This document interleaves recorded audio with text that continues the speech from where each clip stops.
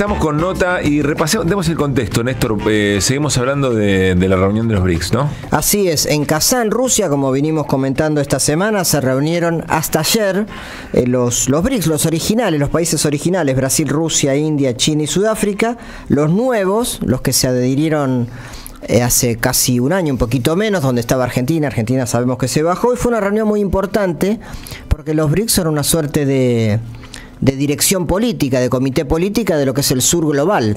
Y se hablaron de varias cosas, del tema de la guerra en Ucrania, en Gaza, de cosas monetarias, financieras, de organizaciones y de un mecanismo para adherir a nuevos aliados, digamos. Y también hubo algunas contradicciones entre algunos países, eh, algunos ruiditos internos, que bueno, viene bien analizar para ver en qué momento está este sur global que enfrenta de alguna manera las potencias hegemónicas occidentales.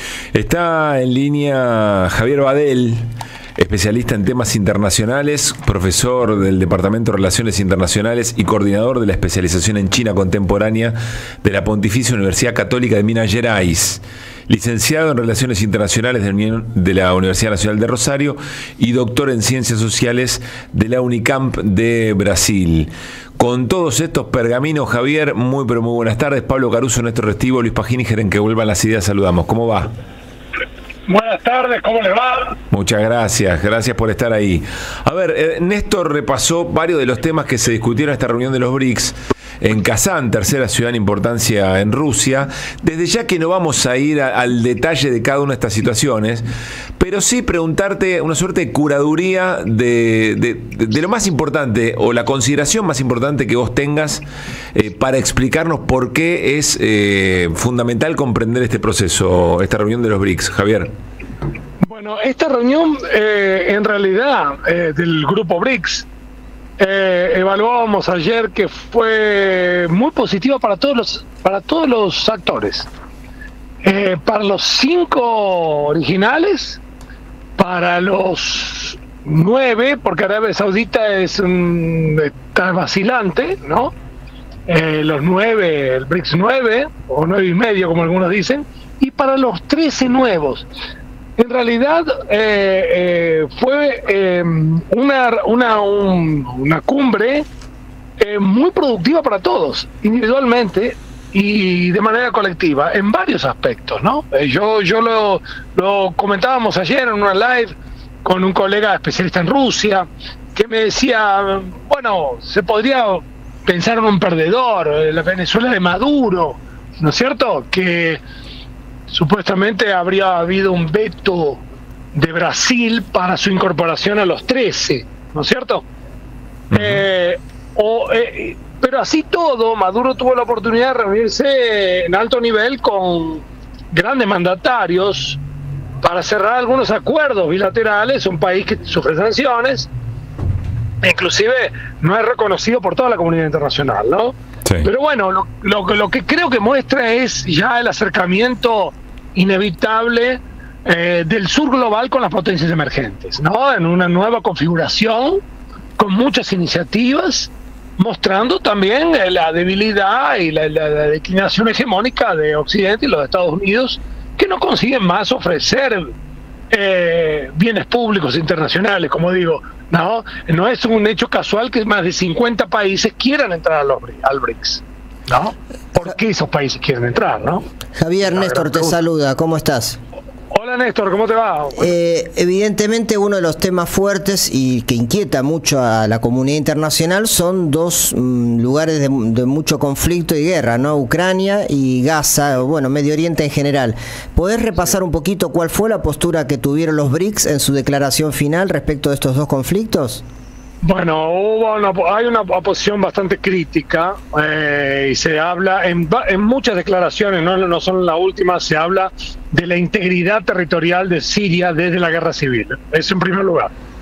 Yo estuve repasando y también trabajamos las declaraciones anteriores y eso es muy evidente y muy eh, lógicamente que Siria es una aliada de Rusia histórico tiene base militar, tiene base en el Mediterráneo y es para Rusia fundamental.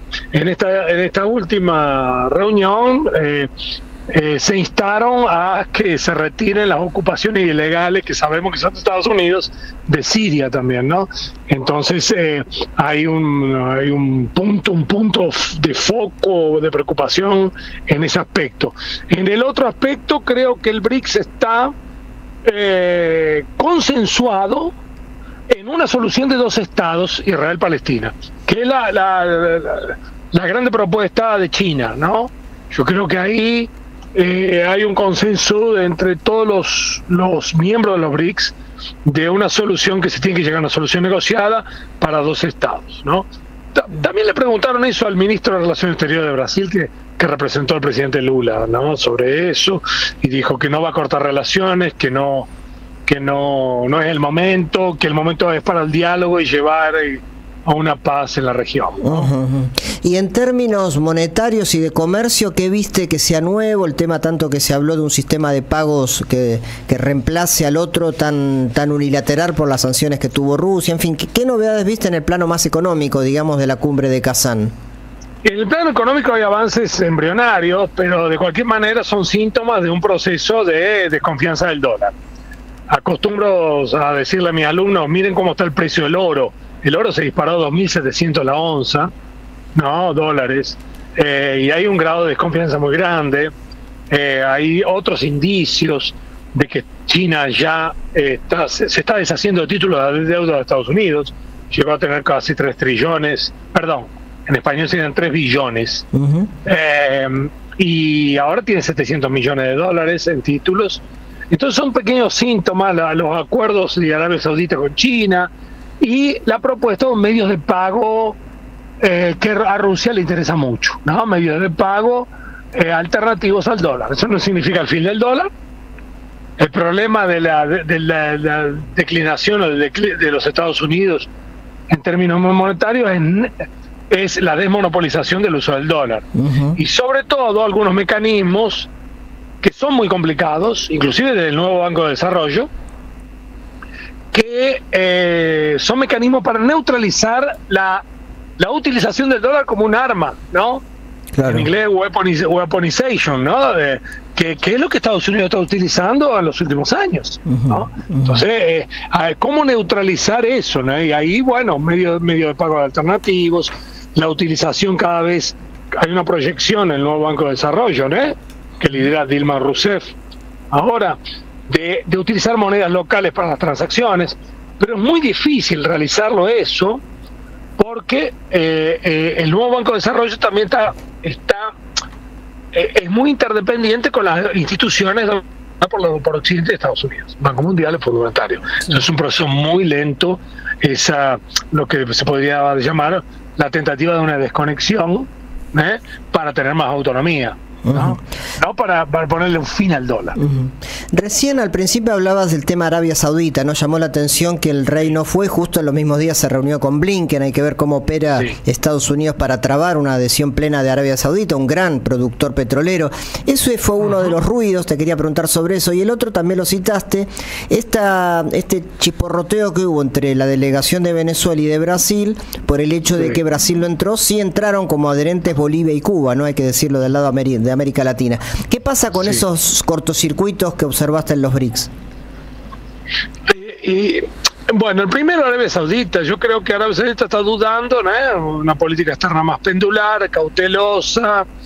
Eh, eh, la región está que arde, ¿no? Y es Arabia Saudita es un actor fundamental para pensar en algún tipo de resolución en Oriente Medio, ¿no? En Medio Oriente. Entonces eso es fundamental.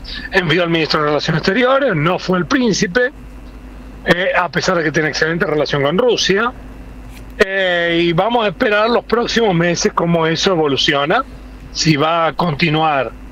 Eh, su, su candidatura está ahí, no, no, no, no, no.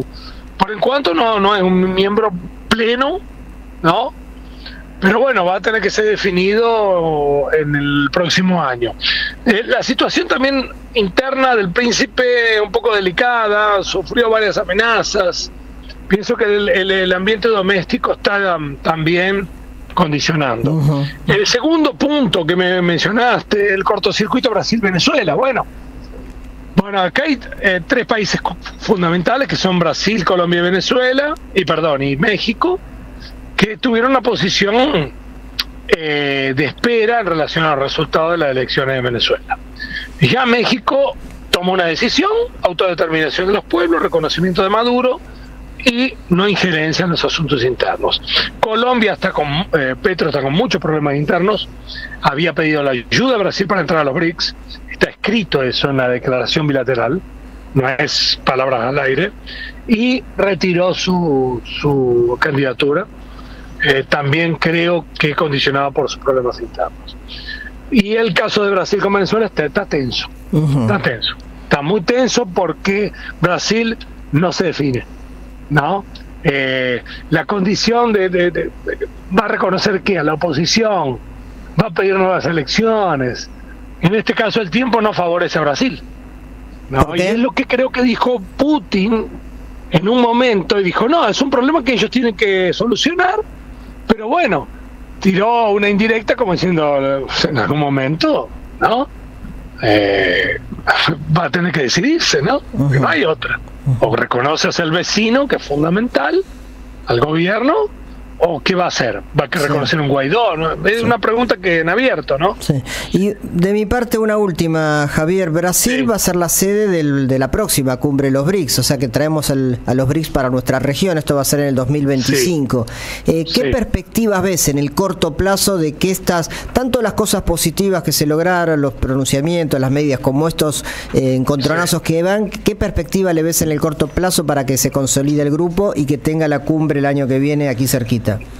Sí, hay dos, hay dos cuestiones, una ligada a otra. Una que es la continuidad de la presidente Dilma, la expresidente Dilma Rousseff en el nuevo Banco de Desarrollo. Claro, que es el Banco de los Una negociación con Rusia. Sí, eso ya yo lo sabía por otras fuentes y se, ella tuvo un protagonismo muy importante en, la cumbre. Eh, y, y, el segundo es la consolidación, era la decisión que Brasil va a sediar el BRICS, pero lo va a hacer en el primer semestre. No creo que julio, bueno, eh, no estoy muy seguro, creo que julio, sí. ¿Por qué? Porque en el segundo semestre está la cumbre del COPE del de cambio climático. Y las fichas de Brasil están en el G20 ahora y en, eh, en la cumbre que va a ser en Belén. ¿No? Eh, no sé el grado de relevancia que Brasil le va a dar al BRICS. eso te lo digo sinceramente, se lo digo a la audiencia.